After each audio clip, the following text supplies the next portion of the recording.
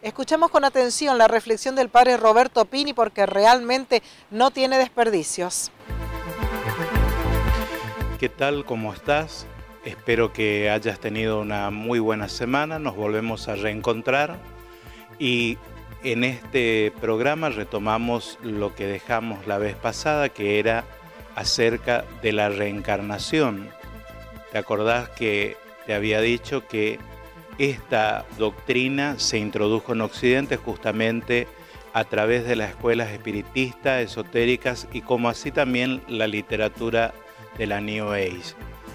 Para la fe judía y cristiana, justamente conciben al ser humano como un ser único e irrepetible y sostienen que la persona, cuando muere, va al encuentro del Señor.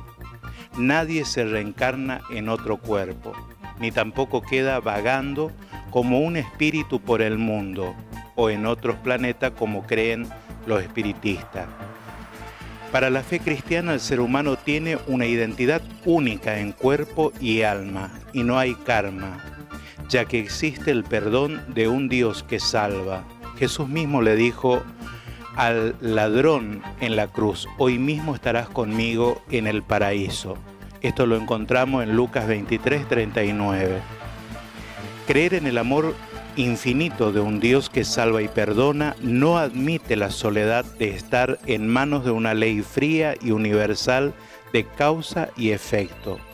Para una antropología cristiana, la reencarnación banaliza la muerte, el cuerpo y la propia identidad, convirtiendo a éstas en meras realidades accidentales. Las Sagradas Escrituras son claras al respecto. El libro de Daniel habla justamente en el capítulo 12, versículo 2 al 3. Va a decir, muchos de los que duermen en el polvo de la tierra se despertarán, unos para la vida eterna, otros para el oprobio, para el horror eterno. Los doctos brillarán como el fulgor del firmamento y los que enseñaron a la multitud la justicia como las estrellas por toda la eternidad. Está hablando de la resurrección.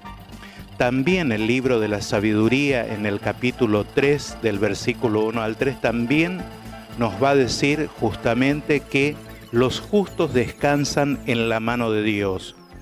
Por último, el catecismo de la Iglesia Católica nos enseña que en la muerte Dios llama al hombre hacia sí. Por eso el cristiano puede experimentar hacia la muerte un deseo semejante al que experimentó San Pablo deseo partir y estar con Cristo. Filipenses 1:23. La muerte es el fin de la peregrinación terrena del hombre, del tiempo de gracia y misericordia que Dios le ofrece para realizar su vida terrena según el designio divino y para decidir su último destino. Por tanto, no existe reencarnación después de la muerte. Esto nos enseñará el Catecismo de la Iglesia en los números que van del 1011 al 1013. ¿Puede entonces un cristiano creer en la reencarnación? Queda claro que no. La idea de tomar otro cuerpo y regresar a la tierra después de la muerte es absolutamente incompatible con las enseñanzas de la Biblia y el Magisterio. La afirmación bíblica más contundente y lapidaria de que la reencarnación es insostenible, la trae la carta a los hebreos, cuando dice, está establecido que los hombres mueran una sola vez y después viene el juicio. Carta a los hebreos, capítulo 9 al 27.